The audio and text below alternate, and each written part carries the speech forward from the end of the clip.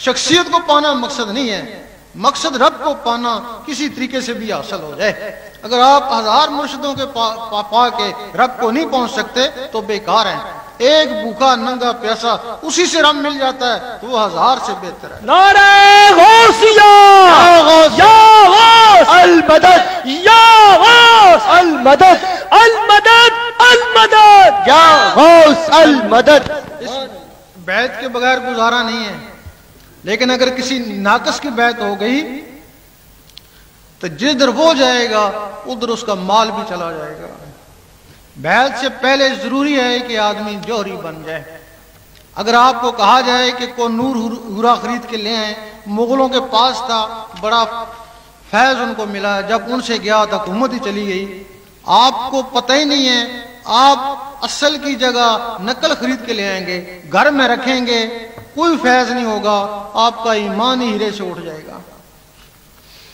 बेहतर था कि आप दो चार साल लगा के जौहरी बन जाते, फिर हीरो की तलाश में निकलते। फिर जब भी मिलता, असली मिलता, आपका ईमान खराब नहीं होता। इस वक्त ज़रूरी है कि पहले आप जाकर बन जाएँ। बहुत से वलियों ने लोगों को पहले जाकर बनाया है। आप जाकर बन जाएँ।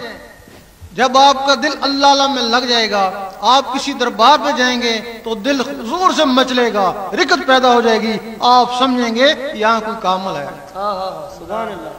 जब किसी ज़िंदा कामल के पास जाएँगे तो दिल उसी तरह रिकत में आएगा।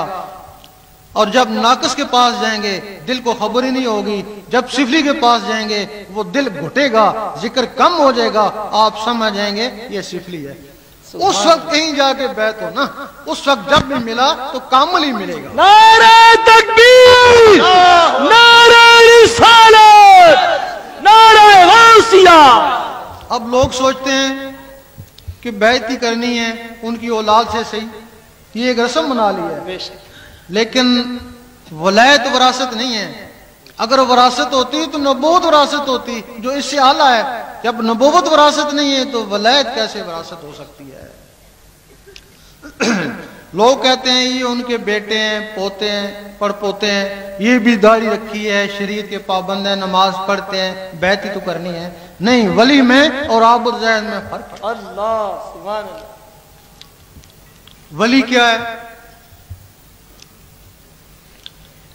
जब अल्लाह ताला किसी पे मेहरबान हो जाए क्या उसकी रियाजत मुजाहदे पे, इबादत पे, जब भी उस पर मेहरबान हो जाए, अल्लाह ताला उसके ऊपर एक तजल्ली डालता है, जो मूसा इस्लाम के ऊपर डाली थी।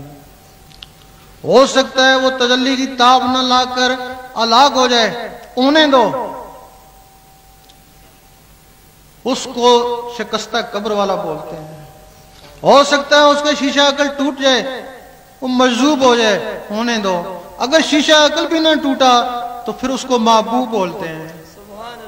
अब शर्त है कि जिसके ऊपर एक दफ़ा तजल्ली पड़ जाए अल्लाह ताला उसको रोज तीन सौ सठ से पाँच सौ मरतबा देखता है। एक दफ़ा देखता है उसके साथ कबीरा गुनाह जलते हैं। अब उससे गुनाह क्या होते हैं? उसकी महफिल में बैठने वालों के गुनाह जलना शुरू हो जाते हैं। हजूर पाक के ऊपर वो नज़र रहमत हर वक्त पड़ती थी। यही वजह है कि हजूर पाक की सोबत में बैठने वाले बगैर वजीफों और चलों के वलियों से भी आला मकाम हासिल करके चले गए।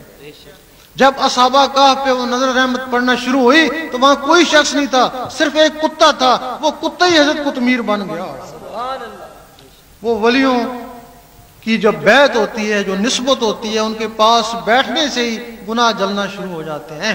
और वो जो उनकी औलाद है या पोते पड़ पोते उनको तो अपनी भी खबर नहीं तो दूसरों के बख्शिश का कैसे सामान मुहैया करेंगे? बैयत हो तो वली की हो। अगर वली की बैयत नहीं है तो तुम्हारी बैयत ही नहीं है। अगर तुम कहीं से बैत हो तो वली नहीं है तो बैत नहीं है बैत तो वली की होती है। तो वो वली नहीं है तो बैत नहीं है। बल्कि सगी सुल्तान बो रहमतुल्लाह फरमाते हैं। कहते हैं कि अगर तू कहीं से बैत हो गया तो सात दिन तक उसको आजमाना। अगर तेरा कलब जारी ना कर सके तो उसको बोरी में बंद करके दया में बहाना। वलियों को ये पहचान होती है कि सात दिन में एक वली जात होता है, कामल जात, एक कामल ममात, एक कामल हयात। अगर आप कामल हयात के पास जाएँगे तो सात दिन के अंदर आपका कलब जारी करेगा। अगर कामल ममात के पास, जिस लोग कहते हैं, मुझ पे कलंदर पाक का हाथ है, या दाता साहब का हाथ है, अगर ऐसा मिल जाएगा तो वो तीन दिन में तुम्हारा कलब जारी करेगा। और कामल जात, अगर ऐसा मिल जाए, जैसे गौस पाक हैं, अगर ऐसा कोई मिल जाए तो एक की नज़र से कलब जारी कर। या अल मदद या अल मदद अल मदद अल मदद। हर आदमी को गुमान है कि अल्लाह ताला मेरे पे बड़ा मेहरबान है। पूछते हैं क्या हाल है कि बड़ा अल्लाह का करम है क्यों? कार बंगला है करम नहीं तो और क्या? दूसरे से पूछते हैं क्या हाल है कि बहुत ही करम है क्यों? गरीब खानदान से था इतना बड़ा अफसर बन गया करम नहीं था और क्या? और तीसरे से पूछते हैं क्या हाल है? कि बहुत ही कर्म है कि क्यों? इतना बुढ़ा हूँ इतनी सेहत है करम नहीं था और क्या? हम कहते हैं अगर तुम इसको करम समझते हो तो ये चीज़ें काफरों के पास भी हैं। जो काफरों को दी वो तुमको दी तो तुम्हारे पर क्या कर्म हुआ? अगर तुमने देखना है कि वाकई तुम्हारे ऊपर रब का कर्म है तो उसके ज़िक्र में लग जाओ।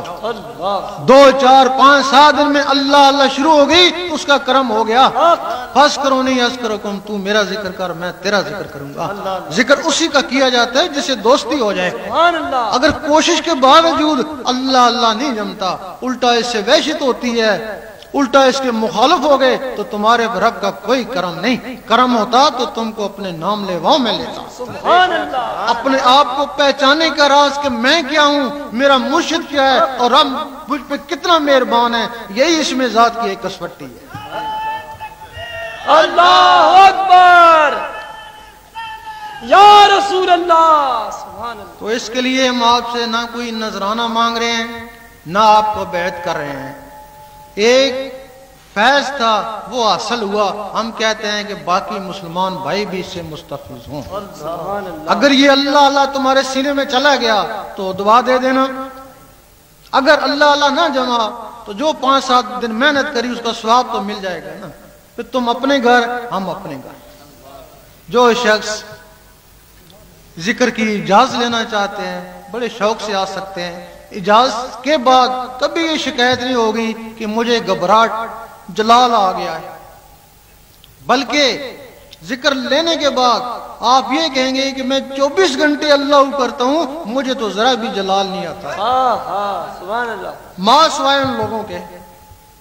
क्योंकि ये जलाली है, हजूर पाक का इसम मुबारक इसको कंट्रोल करता है। और जिनके दिलों में हजूर पाक की मोहब्बत नहीं है, वो हजूर पाक से जो बोझ रखते हैं, जो गुस्ताखियाँ करते हैं, वो अल्लाह में कामयाब नहीं हो सकते।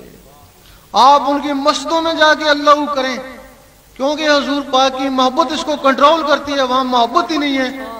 फिर कंट्रोल ही नहीं होता है, वो कहेंगे, मार दे, मार जाएँगे, मार देंगे, लेकिन यहाँ अल्लाह नहीं करने देंगे। माँ सिवाय उन लोगों के दूसरा कोई शख्स ये शिकायत नहीं करेगा कि मुझे जरा भी जलाल आ गया है।